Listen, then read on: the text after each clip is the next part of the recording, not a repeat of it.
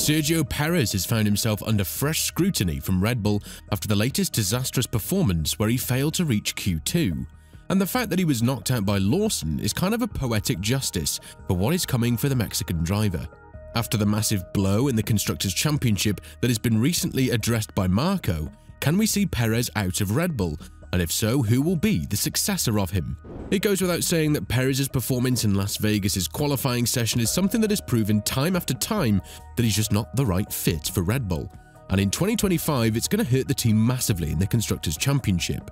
The fact that he's been knocked out by both Racing Bulls drivers goes to show that while there were lots of changes on Perez's car in FP3, in which he found himself lacking grip during qualifying, it's not enough to be in the fastest 15 drivers in a one-lap pace, is definitely something that keeps Red Bull on their toes when it comes to their future. Perez has complained that the changes made to his car were unique, meaning that Verstappen didn't have to deal with any of those modifications. And while Perez would have nevertheless found himself in a hairy position in Q2 had he not gone through these changes, being out of Q1 speaks volumes about whether or not he deserves the seat in Red Bull. The Austrian team are already considering a replacement, and even though the Latin American market is probably the only reason why they're keeping Perez at the team along with the checks that are coming from Carlos Slim, there comes a point where money can't buy your seat in a top performing team anymore and for Perez, Las Vegas might have been the last straw. On top of that, what's worth noting is that Perez has secured just one top 5 finish in the last 16 races, and the poor performance is becoming too hard to ignore. He's the only driver from the top 8 to have never won a race, and there's one miserable fact that we can't ignore as well. He's led only one lap in 2024, which goes to show that there are a lot of changes that need to happen in Red Bull now that 2025 is right around the corner, and the team will have to lock in if they want to keep the prize money as high as possible at the end of the season.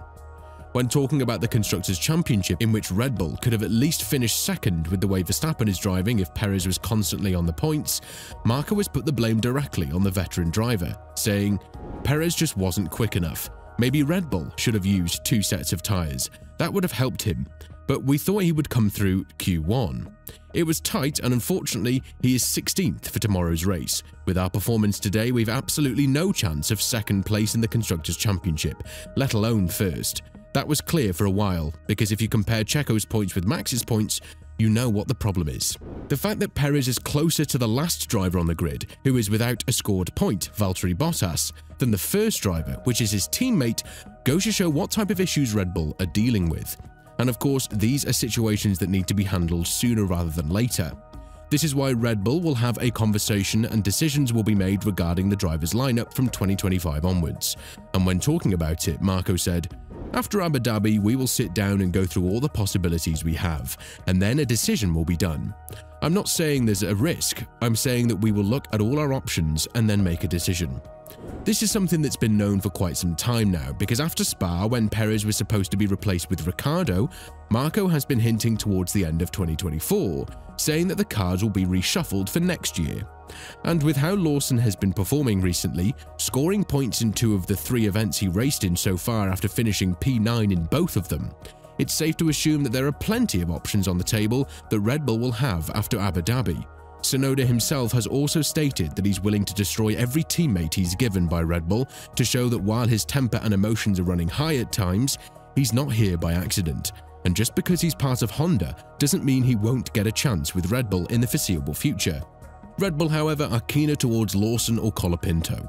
And if you to look at the Argentinian driver's latest crashes, you'd assume that he would take a bit of time to accommodate to the fast-paced and sometimes toxic environment that ravages Red Bull.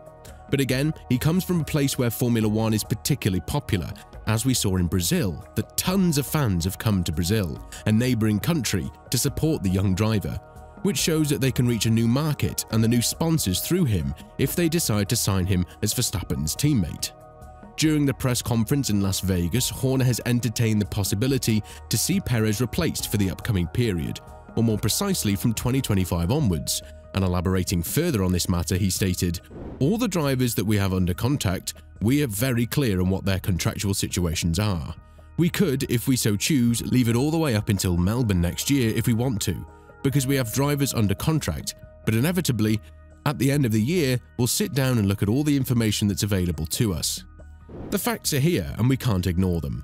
Perez is just not good enough for the sport, let alone for Red Bull, because to be in the top three teams in the sport and not make it out of Q1 when it matters the most for your team in the battle for the Constructors' Championship just shows that you might be in a comfort zone that you should be getting out of immediately. The father of Perez, Anthony, said that unlike Lawrence Stroll, he cannot buy his son a team.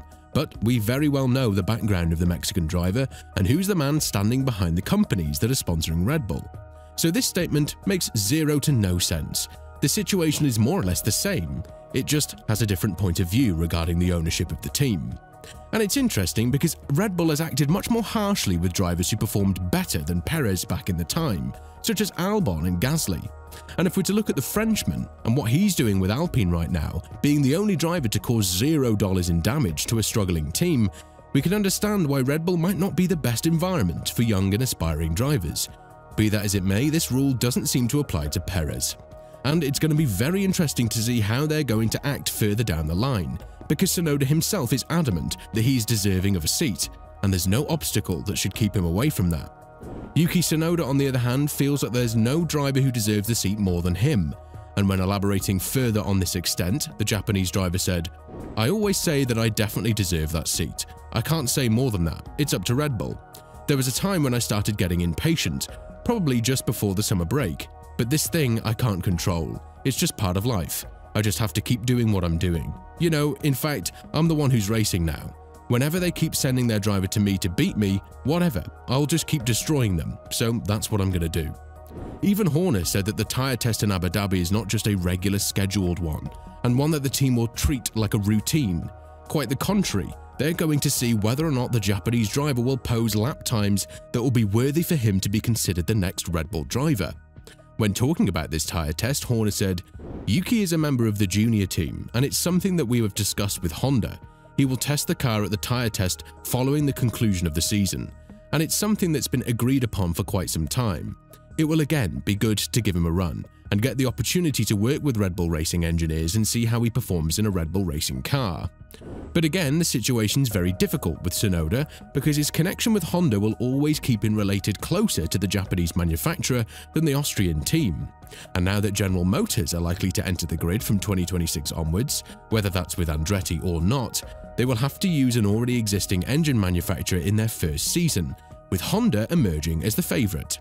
This would be the perfect opportunity for Tsunoda to prove that he has what it takes to be given a proper fast car and show Red Bull that they've been in the wrong to choose money over talent time after time. With all of this in mind, do you think that the poor performance of Perez in Las Vegas' qualifying was the last straw for the Austrian team to pull the plug on the Mexican driver? And if so, do you think that Lawson or Colapinto are the right choices for the second seat? Let us know in the comments below, and if you're interested in Andretti's massive new deal with Formula One from 2026 onwards, make sure to click on the video that's appearing on your screen right now.